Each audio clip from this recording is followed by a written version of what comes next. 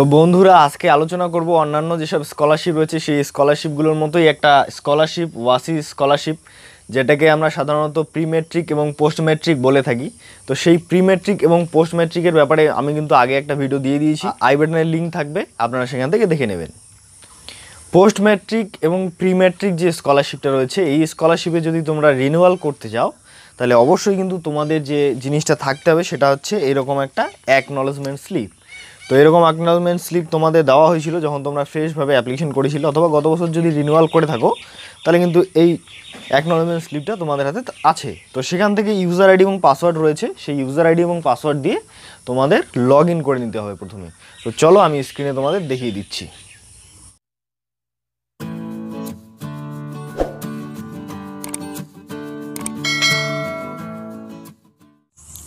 এর জন্য প্রথমেই তোমরা যাবে OASIS dot GOV dot in এই অফিসিয়াল ওয়েবসাইটে সেই অফিসিয়াল ওয়েবসাইটে যাওয়ার পরে একটু নিচের দিকে যদি স্ক্রল করো তোমরা, তাহলে দেখতে পারবে যে এখানে রয়েছে ভেরিফিকেশন ইজ স্টার্টেড ফর দুই হাজার কুড়ি দুই হাজার একুশ session for block municipality level অর্থাৎ এর দ্বারা বোঝানো হচ্ছে যে ভেরিফিকেশন কিন্তু অলরেডি স্টার্টেড হয়ে গিয়েছে।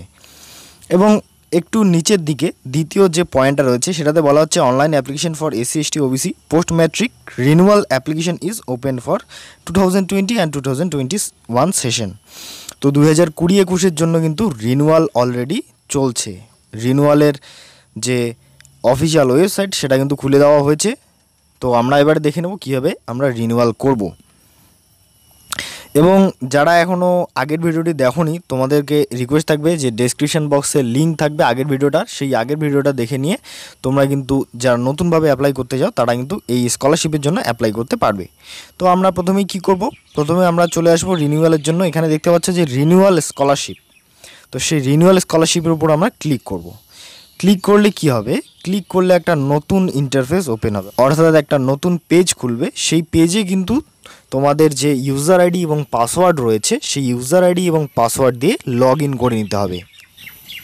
তো আমরা রিনিউয়ালে ক্লিক করার সাথে সাথে এখান থেকে বলছে যে তোমাদের জেলা তোমরা সিলেক্ট করে নাও।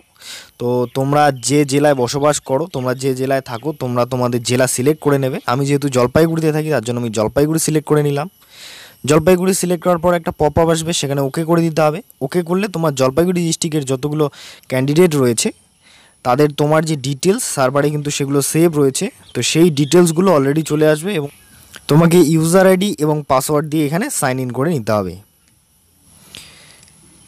আমি মোবাইল থেকেই করছি ক্রোম ব্রাউজারটা ডেস্কটপ সাইট করে নিয়ে। তোমরাও যদি চাও মোবাইল থেকে অ্যাপ্লিকেশনটা করবে রিনিউয়ালটা করবে, তাহলে মোবাইলটাকে ডেস্কটপ সাইট করে নেবে। তো দেখো এখানে ইউজার আইডি এবং পাসওয়ার্ডের একটা অপশন রয়েছে। তোমাদের ইউজার আইডি এবং পাসওয়ার্ড এখানে দিয়ে দিতে হবে এবং যে ক্যাপচাটা রয়েছে, দেখুন ওয়ান ওয়ান থ্রি নাইন ক্যাপচাটা নিচে দিয়ে, নিচের বক্সে দিয়ে লগ করতে হবে। তো চলো আমি এখন আমার নিজের অ্যাপ্লিকেশনটা লগ করে দেখাচ্ছি তোমাদের, কীভাবে রিনিউয়াল করবে। তোমরা দেখতে পাচ্ছ আমি ইউজার আইডি এবং পাসওয়ার্ড দিয়ে দিয়েছি, এবারে আমি লগ ইনে ক্লিক করব।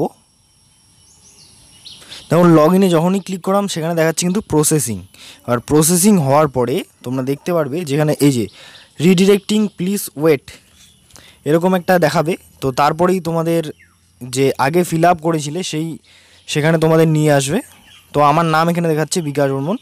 এবং এখানে একটা টু স্টেপ ভেরিফিকেশান চাবে। তোমাদের সেজন্য তোমাদের ডেট অফ বার্থ এখানে দিতে হবে ডেট দিতে হবে এখানে প্রথমে।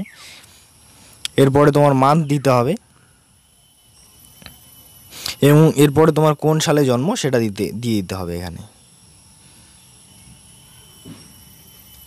সেটা দিয়ে দেওয়ার পর এখানে সাবমিট বাটনে ক্লিক করবে। সাবমিট বাটনে ক্লিক করলে কিন্তু তোমার সমস্ত ডিটেলস এখানে শো করবে। এক এক করে তোমরা এখানে সব ডিটেলসগুলো ফিল আপ করে নেবে। ফিল আপ করার পরে নিচের দিকে দেখবে হোস্টেল ইনফরমেশন যদি আপনি হোস্টেলে থাকেন তাহলে হোস্টেলের ইনফরমেশন এখানে দিয়ে দেবেন এবং আইডেন্টিফিকেশন ইনফরমেশন এখানে দিয়ে দিতে হবে। তারপরে আপনার ব্যাঙ্ক অ্যাকাউন্টে যে ডিটেলস সেই ডিটেলস দিতে হবে। ডিটেলস দিয়ে তারও রিনিউ অ্যান্ড লগ অ্যাপ্লিকেশন করে দেবেন।